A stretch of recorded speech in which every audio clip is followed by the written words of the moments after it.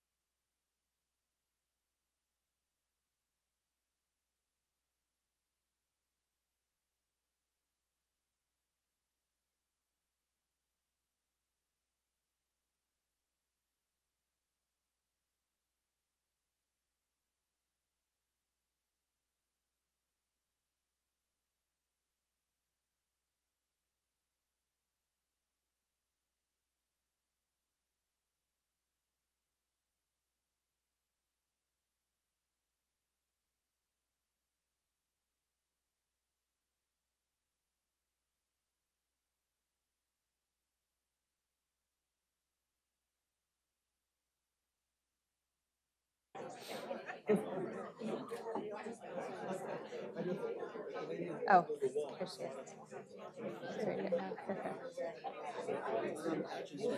Right here. Oh, sorry. Okay, we're gonna get started. You're all ready? Sorry to interrupt. Okay.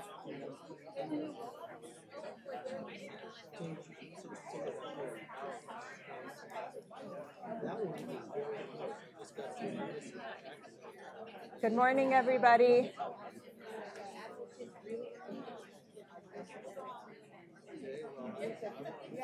Good morning. Good morning, everyone. Thank you so much for joining us today. Um, we are thrilled uh, to have um, you all here to join in, in this conversation with Michelle Flournoy. Um, and a huge thank you to, to Michelle for joining us today. So, a few quick uh, housekeeping matters before we get started.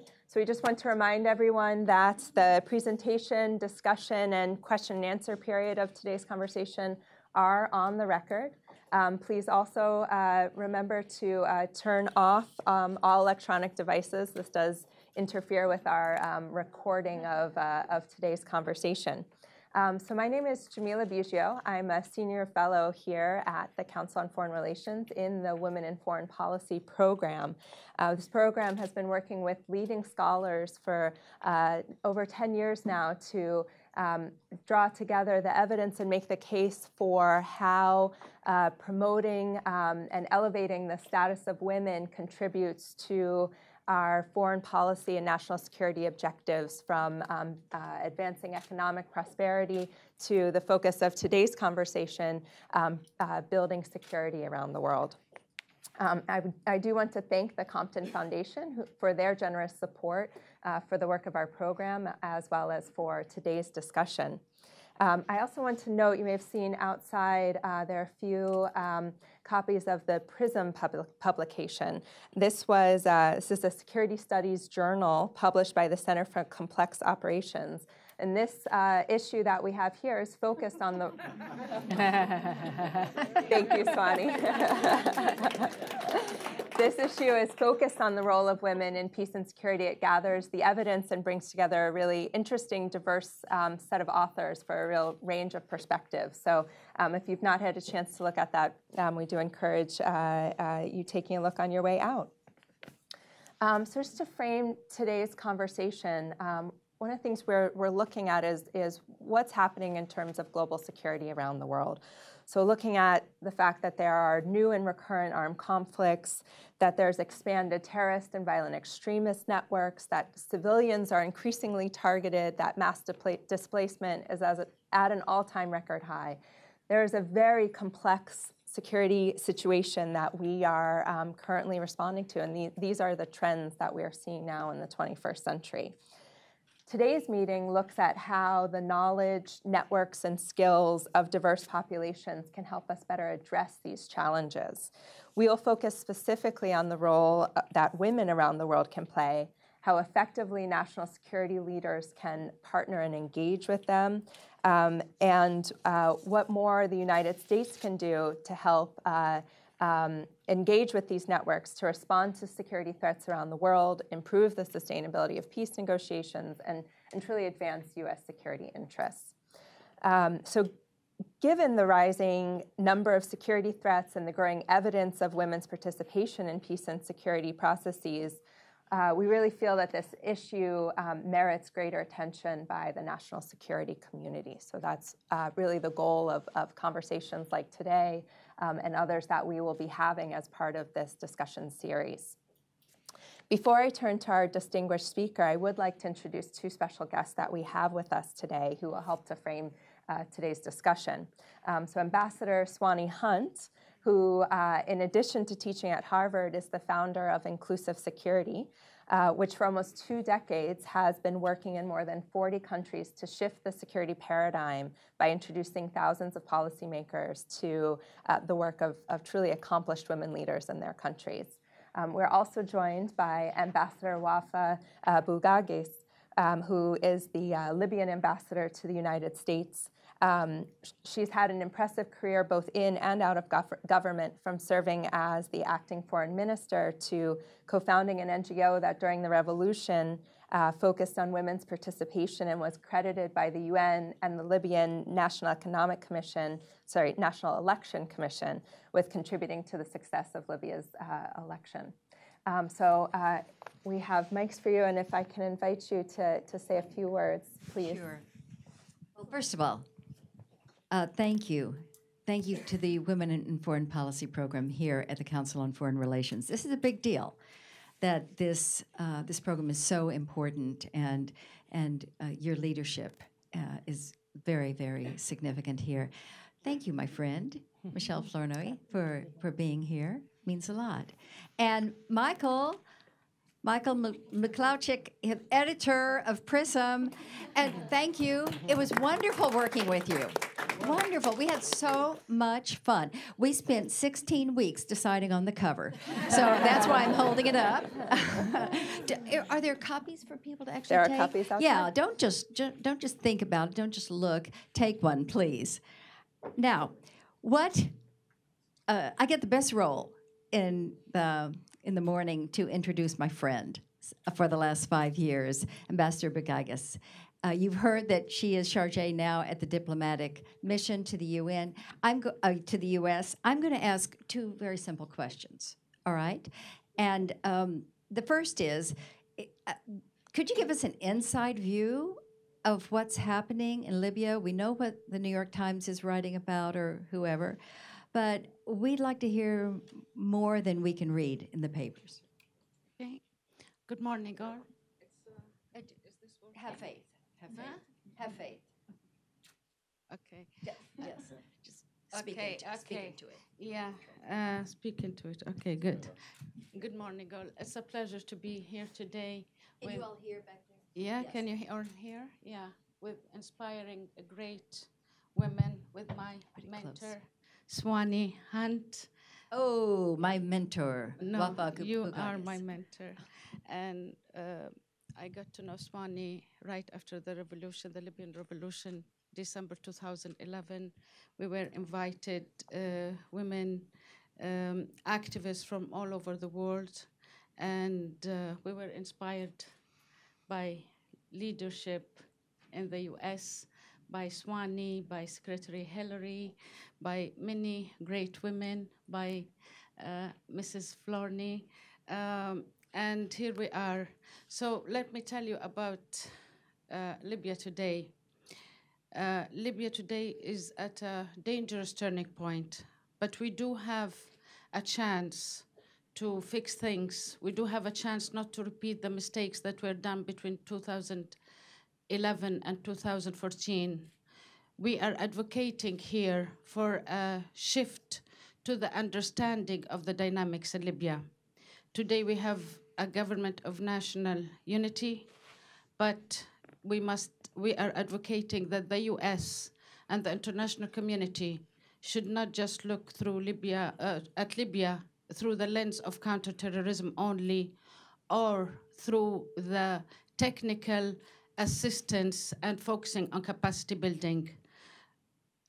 These are very important, but to achieve sustainable uh, efforts and to have the uh, Libyan institutions observe the support and capacity, I think the US and the international community, and this is what is our vision and this is what we're promoting for, they should focus on uh, helping the government of national unity on the economic crisis, on building solid, strong institutions with women at the core of these institutions, and to help uh, in the humanitarian crisis, and most importantly, reconciliation between the armed forces across the country.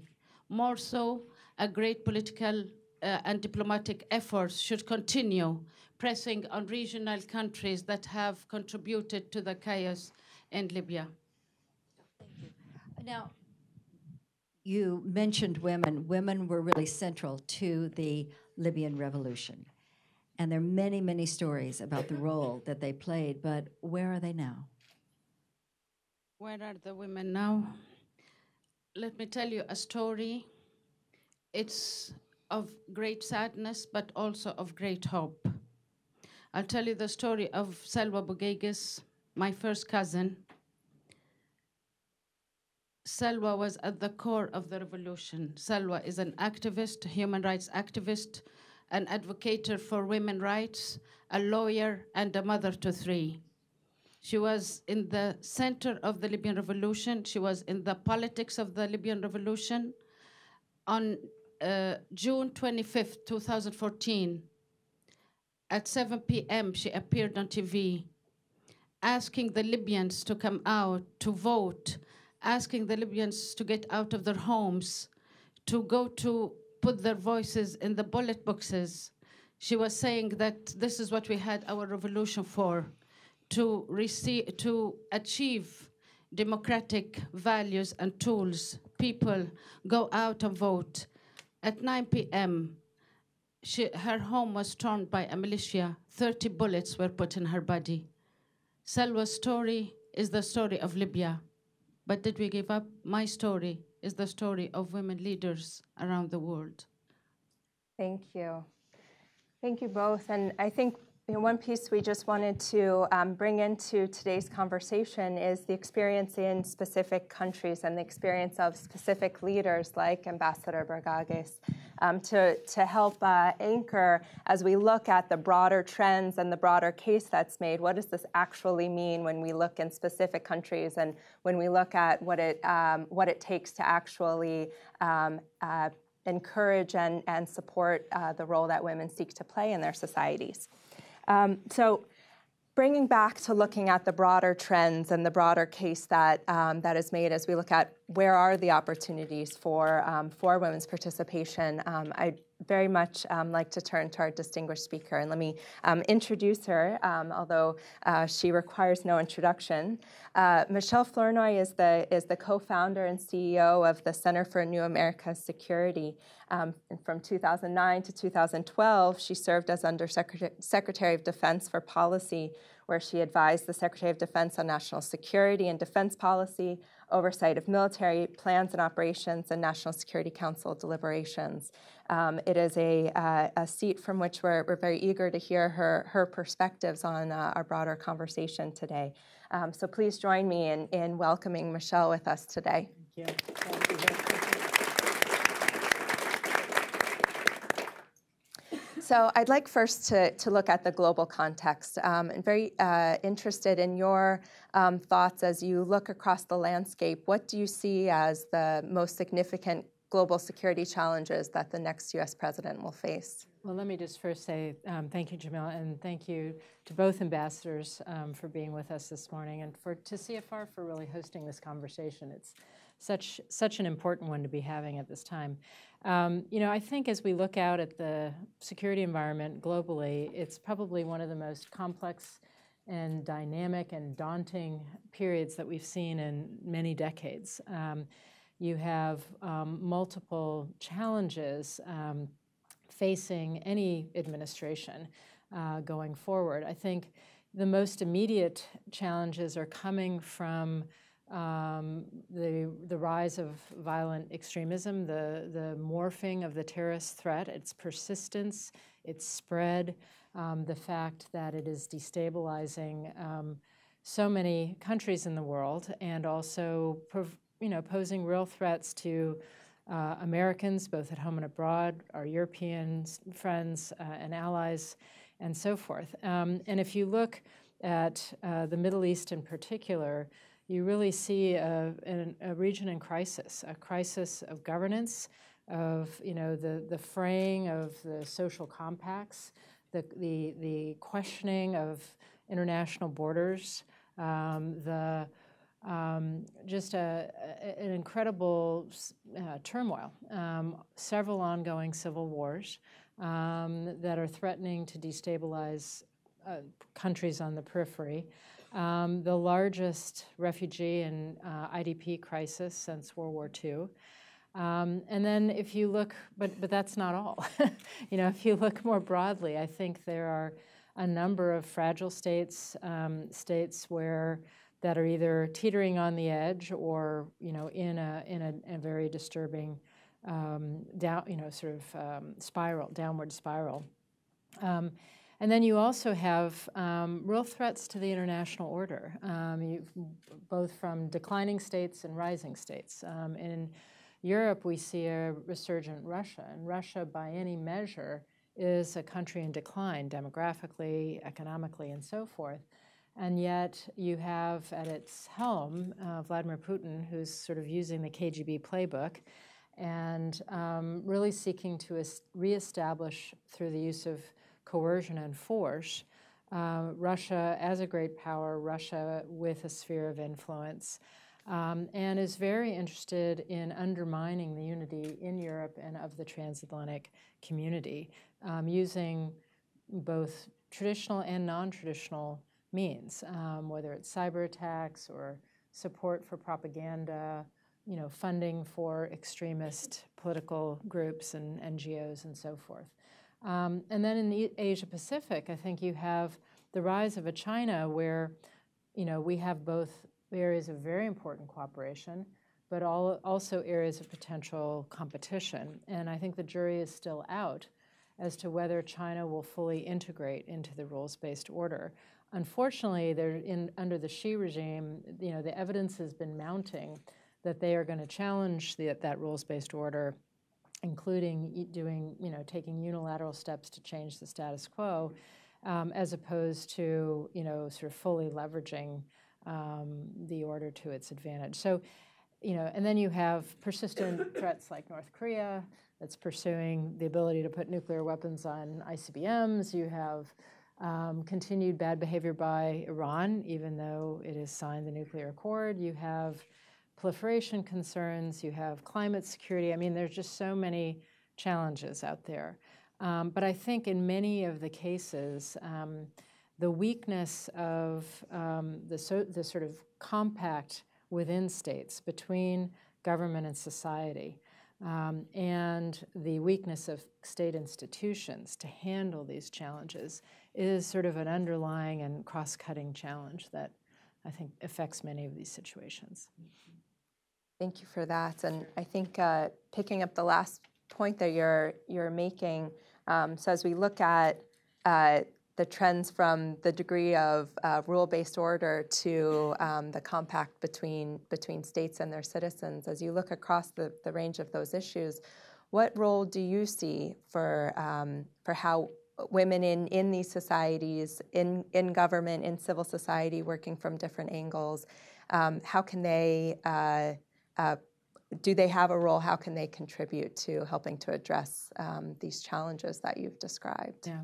Well, I guess I, I come at it from two different angles. On the one hand, you know, I think we now have something that's really different, you know, from when Swanee started her organization to now, is we now have a body of academic literature, very rigorously undertaken, peer reviewed, et cetera, that shows the statistical correlation between the status of women in society, the level of inclusion, and that in society's internal stability, its internal development prospects, its relationship with other states, you know the you know the the the, the sort of fer- fertility of the soil or lack thereof for violent extremism and so many other correlations. And so there's now a very um, fact-based pragmatic case that says paying attention to the status of women and their inclusion in society will actually have a dramatic impact on the health and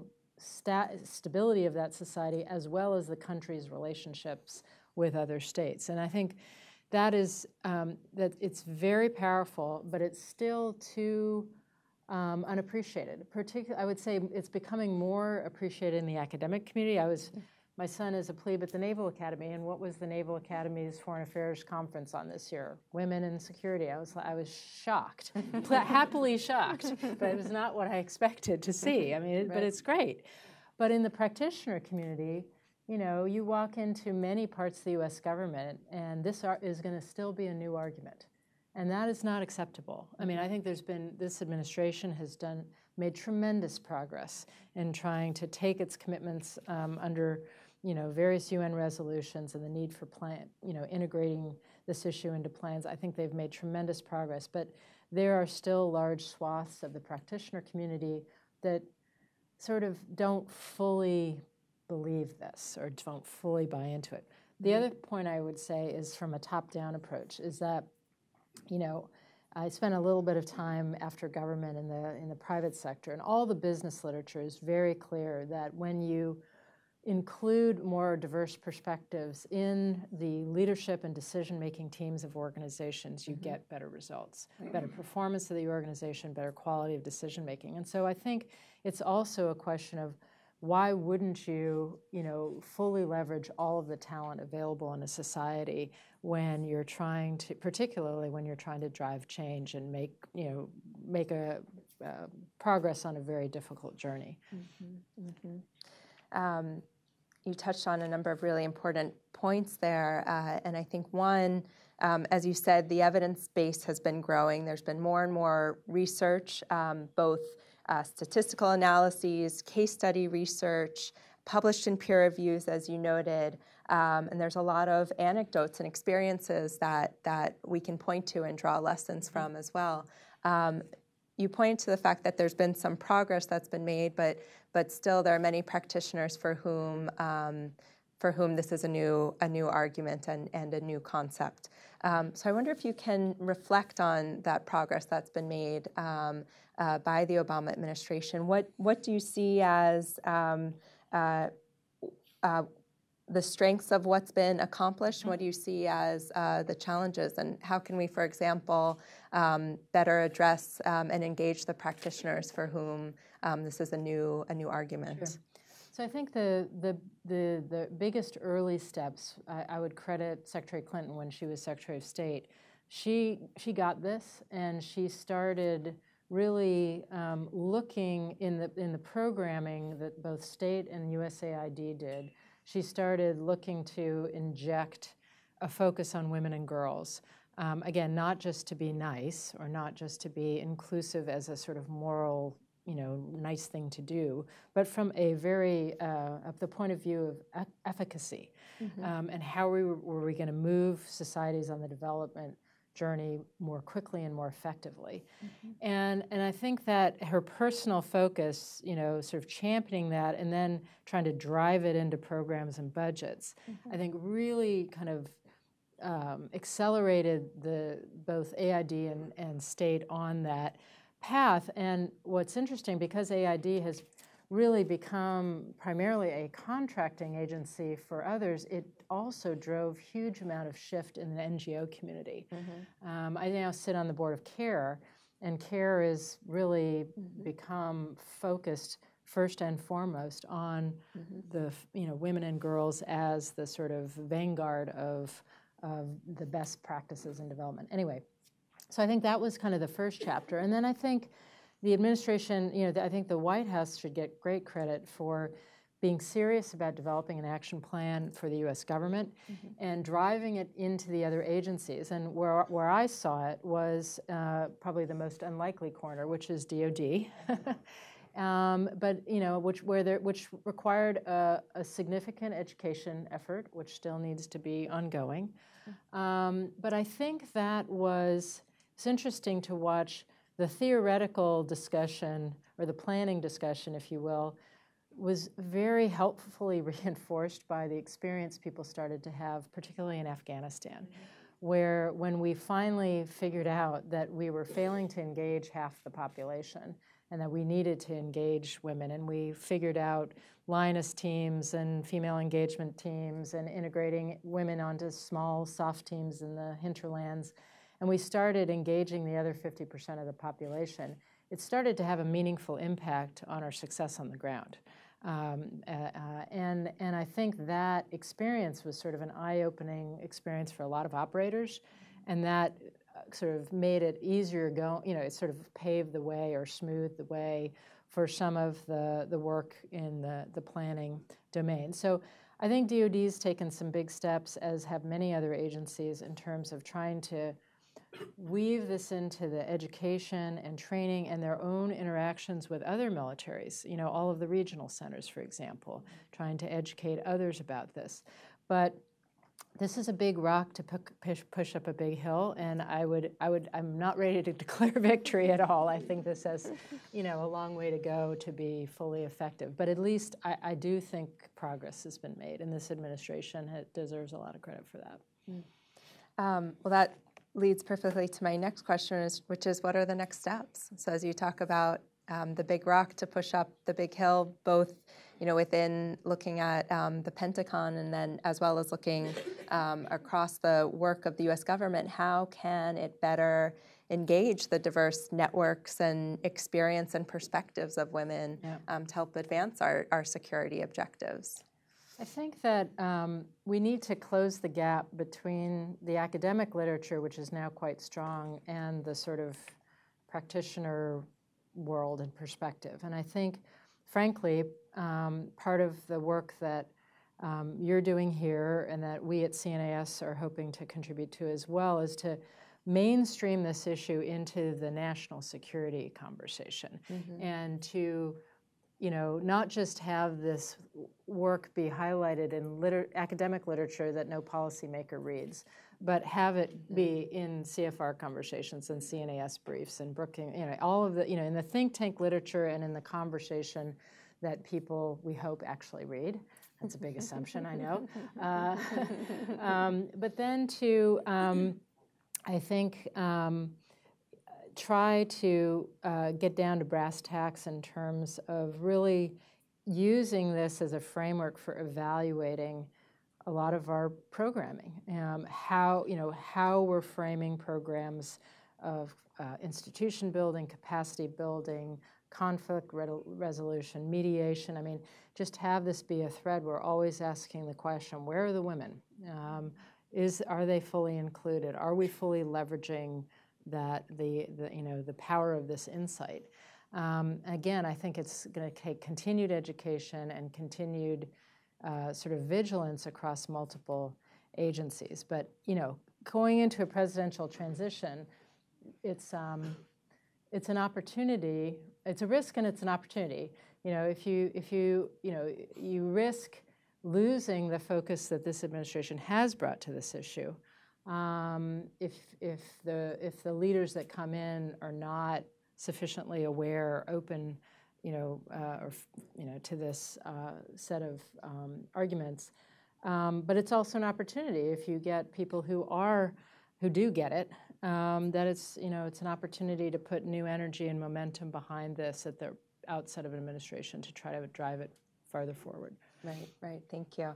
Um, I think some of the points you just made really touch on some of the goals that the U.S. National Action Plan on Women, Peace, and Security laid out, which was to change change the traditional practice, um, to change that the mindset that we're, um, the U.S. government is looking at. Are are we are we asking the question? Are we looking at who's at the table, who's participating in these in mm-hmm. these efforts, and make sure that um, uh, we're drawing on diverse yeah. per- perspectives yeah. here. Yeah, and I just I think the the most powerful uh, approach is the efficacy argument and like show me the facts show right. the evidence and you know one thing i love about the you know the us military and institutions they're all about what works mm-hmm. you know this is not an ideological crowd they're very pragmatic they're about the mission If it, you show me it's going to work and get to the mission, you know, accomplish the mission better and faster, I'm all for it.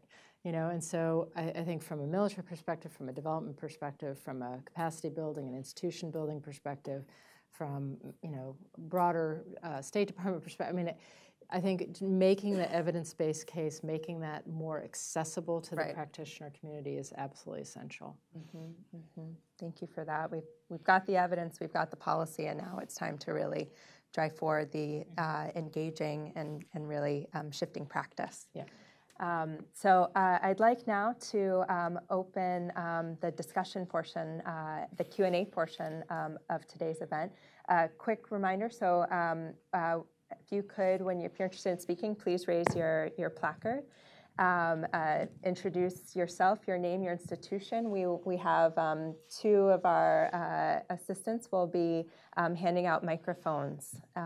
So we've got a question here, please. Yes, please wait for the microphone. Thank you. Good morning. I'm Celina Realuyo. Good to see you, Michelle. I'm a professor of uh, counterterrorism and countercrime at the Latin America Center at National Defense University, where I actually work on a lot of these issues. My biggest challenge, and I think you can empathize with me, is that we do not actually have dedicated line item funding for a lot of the types of things. I literally just got off a plane from Bogota, Colombia last night, where you know we're intimately involved in kind of the DDR process. And I've been speaking there about how we have to have at least some seats at the table in terms of any peace process. I think everyone here echoes that. Half of the population, um, in terms of the women in the guerrilla, have not really been addressed. And these are the types of things. And then they've actually asked us. Uh, bilaterally for assistance with their military and police that are going to be transforming from a counterterrorism mission to a countercrime mission. We don't actually have on the table, through DoD at least, um, off the shelf type of training. Um, so we're trying to actually take a look at how we can, and I do a lot of stuff, as you all know too, up at Harvard at the Kennedy School. How can we take the different things that we have across the sectors, but more importantly, it's how to figure out the funneling part. Um, as whether it's the color of the money, the restraints, as you can imagine, in terms of trying to get consultants and contractors. It literally is the enemy is us inside, which is bureaucracy. Um, And more importantly, I still stand, by the way, as the only female professor on my team. And it's 2016, let alone a person of color. So, uh, and you, you were at NDU, I'm at NDU, I've been there for a long time. And the thing is, we have to represent the values that we're trying to espouse and push. Um, and it's terrible that I'm literally at SOCOM next week, one of the few female presenters at the immense international special operations forum. So I think there's the willingness to hear about it, but we have to actually kind of put where our money where our mouth is, and then more importantly, try to actually show using those results and be better about explaining the metrics, like if this, then that, and what came of it, right? So there's the types of things we're still seeing a little bit of hesitance in terms of dedicating the money. We, we still do certainly have a lot of work to do in our own, um, or, you know, organizations to fully leverage the talent and contributions of women and to make our own institutions look like our society. No, no question. And I think that that's a part of our, of this as well. Um, but in, in terms of you know what you've just raised is the importance of having bringing this discussion to the Hill as well. You know, the, the color of money is always such a constraint. And, you know, there are a couple of approaches. You could try to get, you know, funding that's specifically targeted for this purpose. purpose. Um, uh, or you can simply make it a, a policy prerequisite in how we use the funding that we have for, you know, traditional purposes like security sector reform, what have you, and just say, look, you know, we understand that part of making this effective is making sure that women are at the table. Any program that we design and fund is going to meet that criterion. Um, or you might try, I mean, my feeling in Washington, you, you never know which route is going to actually pay off. So, you know, uh, try, try both approaches. But, um, but I, I actually think that um, there's, a huge, there's a big, heavy lift um, on the Hill in terms of educating members of Congress about, about this issue and, and the importance um, uh, of this. But, but absent, you know, a, a- dedicated line item, there's a lot we can do just in terms of internal policy priorities to make sure that we are designing the programming in a way that sort of um, ensures that, that that inclusion happens. Got a question here with Sarah.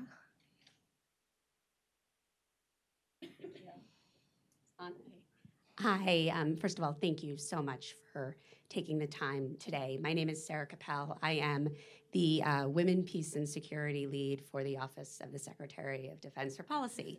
This is it. um, and um, you speak, I have so many questions, but the, the one that I wanted to, to specifically ask you is you speak about the, the efficacy argument and the evidence base. Um, and having done this for I don't know four years now, uh, starting with when Jamila was at GWE. Um, it with DoD, we are still struggling to. There, there is a great deal of evidence, particularly with respect to women's roles in participation, with respect to participation in peace processes. Uh, that is where we see the most evidence. But we are still struggling within DoD to show how implementing the National Action Plan directly contributes to a measurable increase in the security and in the operational effectiveness. Um, and that is something that I believe, uh, having to you know make this pitch all the time, uh, that we need to uh, have in order to really sell this argument and build it into the DNA of the department. Um, what do you do? You have any recommendations? What do you recommend? We have we have even the pieces from Afghanistan are primarily anecdotal, um, and what recommendations do you have, if not for efficacy, um, other recommendations for really uh, building this into the department's daily business? Once again, thank you so much for your time. Sure. Um, you know, I think um, I, I would love to see um, whether they're full case studies or vignettes. I mean, you know, w- you're right. A lot of the evidence in Afghanistan is anecdotal, but so let's leverage that. I mean, let's let's you know collect the vignettes. Let's do some case studies to show where the difference between where inclusion has not occurred and where it has occurred, even even if it's not as fulsome as we would have liked, but to try to start building the um, not just the the sort of correl- the statistical correlation kind of approach, but the a like a vignette and case study approach. Um, because I think I think logically at some level people understand this. Um, I think it would be helpful to have more examples, um, whether they're historical or more recent. Um, and then I think a lot of what people in DoD sort of stumble on is okay, the so what. Okay, so what do I what do you want me to do differently, and how does this actually work? And you know, it's it's the the the putting it into practice. What exactly are you asking me to do differently? Um, and I think that's, you know, again, helping to think through, okay, well, how would this change, you know, the design of a campaign or a concept of operations or approach to a mission? I mean, it's taking it to that next level. Not that that's going to be dictated by you and OSD, but it's more of a framing the conversation, helping to frame that conversation to, you know, to work through it. This would also be a very interesting area to do some some um, kind of tabletop scenario-based wargaming of thinking through uh, what would this look like and and what would how would what would the the impacts be? Yeah. If I may comment, you can call it anecdotes, but you can also call it qualitative research. Yeah. Um, and I think this picks up some of our, the last question of having some of these off-the-shelf tools and you know some of these resources that um, can be used to help answer the question of now what now do I actually how do I actually put this into practice as Yep, you said. yep. Um, great, we have a question here. Again, thanks for doing this, uh, Michelle. Appreciate all of your uh, contributions. Uh, my question is oriented. Could introduce to- yourself, Oh, I'm sorry. sorry. Jamie Morin, uh, Department of Defense. Uh, my question is oriented towards our internal government processes, and I've certainly seen firsthand um, in the process of running interminable internal processes for the Department of Defense the positive contributions that we get in caliber of decision making when we have diverse backgrounds around the table. Uh, but you talked about how in military situations efficacy is the bottom line. I'd be interested in any uh, case studies you would lay out or exemplars you'd lay out of where you saw the Department of Defense in our internal building of policy, building of decision making, where we did better because we had people around the table who were willing to challenge conventional male oriented ways of thinking or brought new or I other mean, inside the Pentagon. inside the Pentagon. It's one thing to prescribe it externally, it's another thing to also prescribe it to yourself.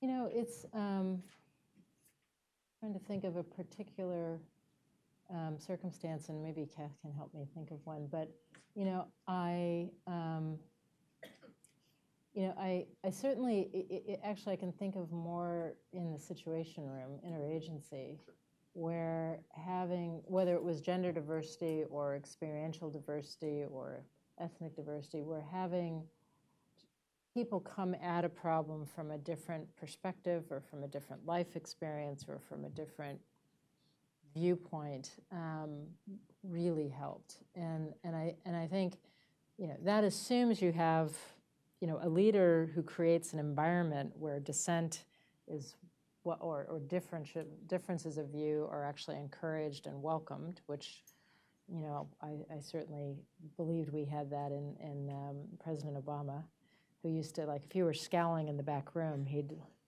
you look like you don't agree. It's like, oh, don't scowl. so, so, um, but so I can definitely think of multiple situations where you know that just uh, diversity of perspective enriched, it made it made it made it sure that there was a, just a much more fulsome debate before we sort of. Before the president actually made a consensus. And times when we were sort of going towards a groupthink, con- or very early consensus, and people would say, "Wait a minute, have you thought about this? What about that? I'm not so sure." Um, I um, I don't want to put you on the spot, Kath. If you have any particular Pentagon advantages, I would have a Yeah. view of when you, we have, yeah.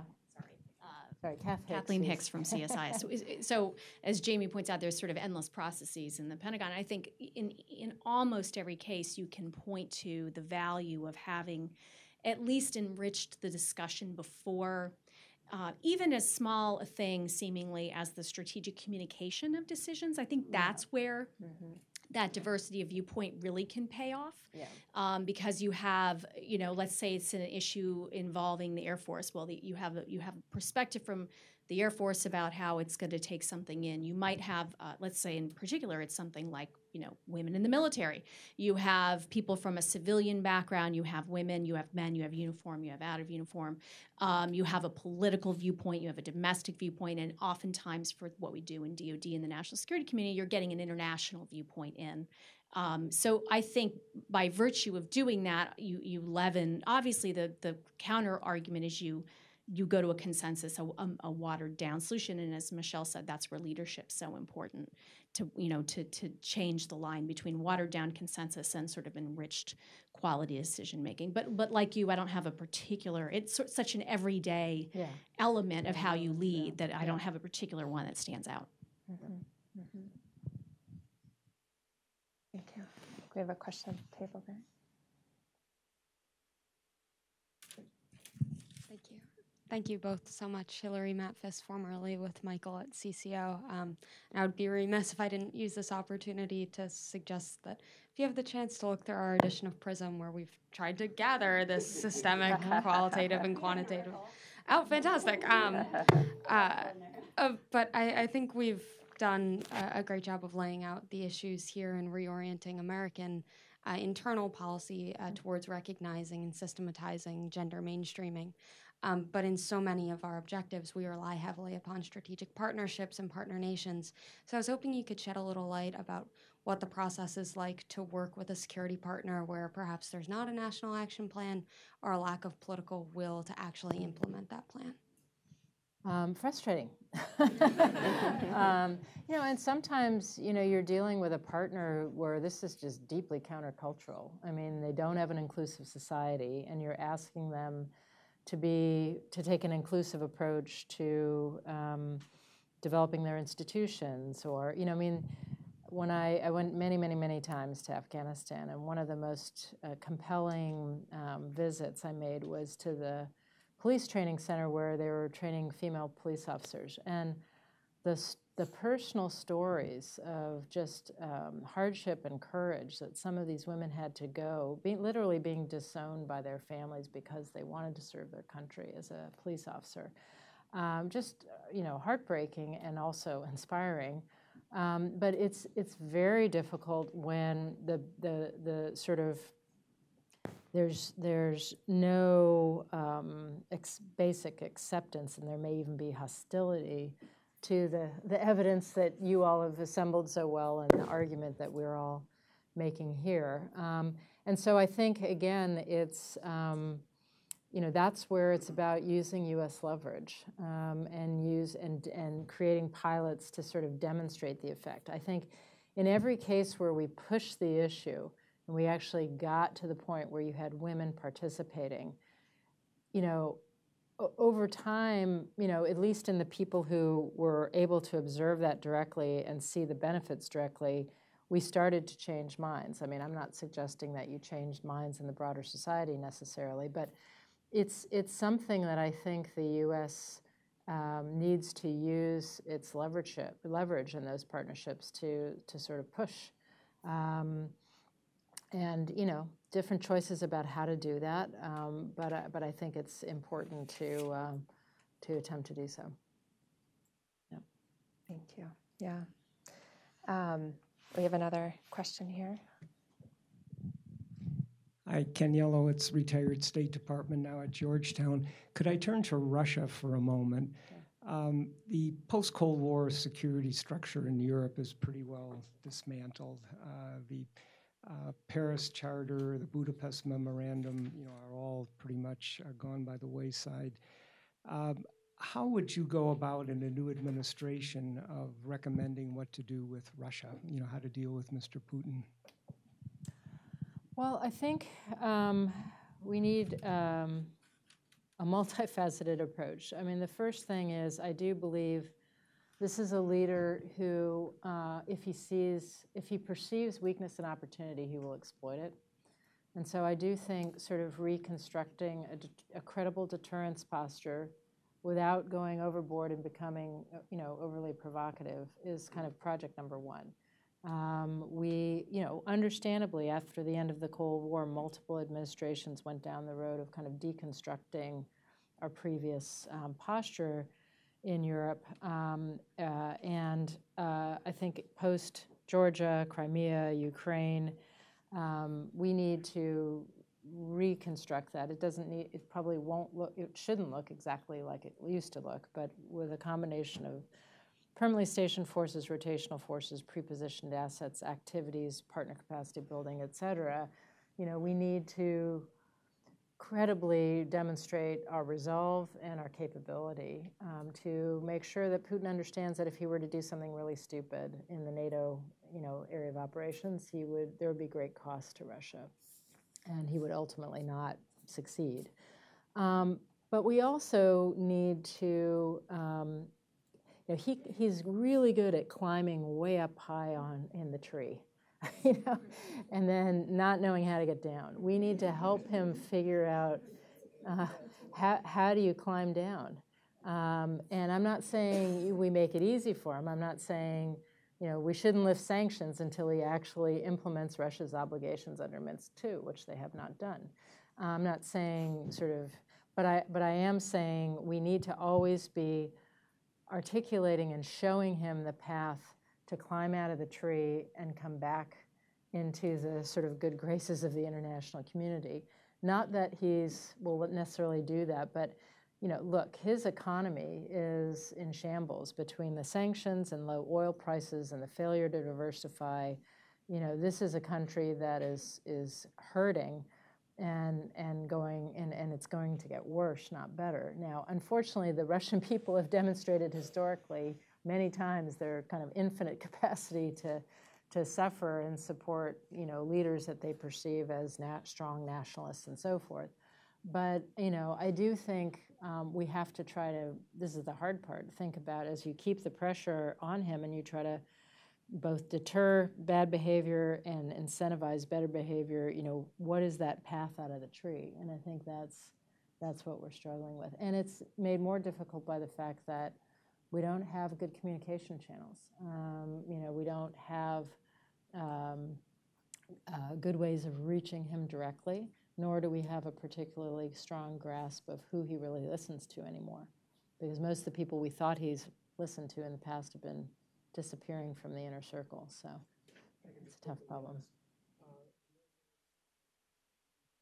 Much in the way of contact, and I was wondering, you know, whether or not, you know, without in any way approving what he's done, whether or not it's a good idea to, you know, to have our militaries not really communicating other than Syria. Well, I think even at the height of the Cold War, we instituted a military to military dialogue to reduce the potential for accident or miscalculation, incidents at sea agreements, you know, that kind of thing. I think that kind of, that's where you start.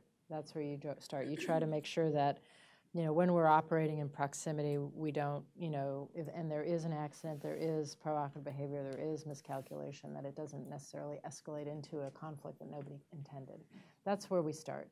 Um, but I think this is not this is not about a mill-to-mill relationship. This is about Putin's fundamental approach and policy, and that's what we have to both use a combination of incentives and disincentives to try to get him to see that it's in his interest to moderate his behavior while being prepared for the possibility that he won't and that we need to protect our interests and allies in that instance. Thank you. We've got a question here in the middle. Good morning. I'm Susan Reichle. I'm the counselor of USAID. And I first just wanted to share with everybody that we actually are undertaking some case studies on the area of women, particularly in areas of violent extremism, because there's often an assumption that women are either the victims or they're perpetrators. But as we all know, that they're very key to the building resilient communities. And right now we're doing this in the Middle East and North Africa and soon in the Lake Chad Basin and, and East Africa. The question I had for you is something that uh, we're struggling with not only within USAID and the State Department, but it's obviously the 150 account and looking at the, you started uh, obviously talking about the rise of violent extremism, and um, obviously women are just key in order to help us address this issue. The the struggle we have is that right now, obviously the resources. Uh, uh are very focused on using uh, much more the hard side approach to this and yet we know and we issued one of our first policies in 2011 was the development response to violent extremism and insurgency. My last post as a foreign service officer was the head of the usaid mission in colombia and we knew we had a lot of experience and evidence for that. And yet we're having a very tough time in washington of uh, while there's support on the hill and we spend a tremendous amount of time up there and we have a lot of great stakeholders, many here in this room who are saying we need to put more resources, and this really truly has to be a partnership and not just government, obviously, private sector, civil society, universities, youth. Uh, I would love to hear your views on that, and yeah. particularly as the NDAA is making its way yeah. through. Thank you. This is a perennial problem that, you know, um, you know, DoD tends to get, you know, rather robust funding for its capacity building efforts, its assistant, its you know various efforts, and state and AID fare less well in the budget process on the Hill, and just the overall budgets of the agencies are so imbalanced. Um, you know, I used to, I like to say DOD, you know, is usually on steroids and everybody else on life support. I, you know, I, I don't, I, I mean, now that's a little bit different under sequestration and, you know, a world of the BCA, but I think the imbalance is still very persistent. And you know, so I think there are sort of several approaches that I would encourage you to think about. One is to to forcefully make the case on the Hill. You know, educate people about why this is a critical um, element of any, particularly any preventative. Um, you know, trying to create resilience so that societies don't become vulnerable to the rise of extremism in the first place, um, and to you know if you go to JSOC, SOCOM, any of these places where you know people are doing the kinetic part of this mission set, they're the first ones who will say you cannot kill your way to victory in this mission area. And so getting some military voices to make help make your case it can be very powerful on the Hill. I think secondly, um, you know, in the past, for a limited period, we, uh, when Secretary Gates and Secretary Clinton were in office, for example, we were able to get the Congress to support some transfer funds. You know, the, um, both transfer funds and pooled funding. And pooled funding was harder and at a smaller scale. But the notion that, you know, we, we are trying to come at these problems as an inter, with an inter, integrated whole of government approaches and recognizing this imbalance in resources. You know, if you have a military command and the ambassador agreeing, or the Secretary of Defense and the Secretary of State, if it needs to be at that level, agreeing on the approach, can we make the funding somewhat fungible? Can we use state authorities or AID authorities with some additional monies from DoD? In the past, it's a very hard sell, but in the past, there's been some ability to get that done. Uh, but it was, you know, it was um, not, you know, it wasn't sustained. So I think we had, you know, to go back on the hill and try to reopen some of those. And again, I think having um, sort of uniformed military officers who get this and see the value of this and want it to happen, particularly COCOMs, field commanders, um, that can be very powerful. I remember going up with Dave Petraeus by my side, going to the appropriations, the Defense and uh, Appropriations Committee, and then the State Appropriations Committee to make this case that they, we needed this ability to, to move money across. And again, for at least one year in Afghanistan, we got it. But, you know, I mean, but, but that I think is the kind of effort that needs to be made. Thank you. We have a question here. Thank you. I'm Nancy Berg. I wanted to start out by saying it's really cool. Who, who would have done it other than women to have a, a wonderful new way to start a program with a mini conversation, a mini interview? Fantastically uh, informative. But um, my question is about um, how we and the rest of the international community can best support the women themselves and encourage them and empower them to be the players who are at the peace table or to be the leaders in the country, what some of those programs are. It's a bit more specific than what we've been talking about, but I think it's Mm-hmm. important that we nurture the, the, the women themselves. Thank you. I think Ambassador Bugaighis's experience speaks to the fact there are women in all of these societies who, at all all levels, are working to take up this charge. And um, there's some interesting experience on um, how to make that, how to tap those leaders. Um, uh, do you have some uh, experience, some from your experience? If you'd like no, to. No, I don't. I, I really haven't worked at that sort of ground level on the DoD side. My main exposure has been through my experience with CARE, um, where it's about both making the recipient, the grantees, the women, you know, making women the grantees. So they're they're actually, you know, getting the micro entrepreneur grant or getting the the grant to do to lead some project or participate in some project directly as opposed to giving the grant to the you know the the village elder who's the man and then inviting the women to participate actually making the women the accountable responsible parties for executing a given project or program. Um, but also a huge amount of work on, on leadership development on you know women's empowerment training training and skills building um, among women. But I am not the expert. I would love to hear from Swanee and Wafa on this. Yeah, I have to edit you. uh, Okay, please. If you'll forgive. You, in fact, uh, hosted a meeting that we requested Mhm. when you were at DOD. Yes, with Afghan And women. we had, that's right, we had six Afghan women leaders. I thought that we were going to come in and simply meet with you. And instead, you had a long table and you had about eight of your colleagues who were civilian or military. And you only had 20 minutes. So after 20 minutes, someone came and told you that you needed to leave. And you kind of brushed him off.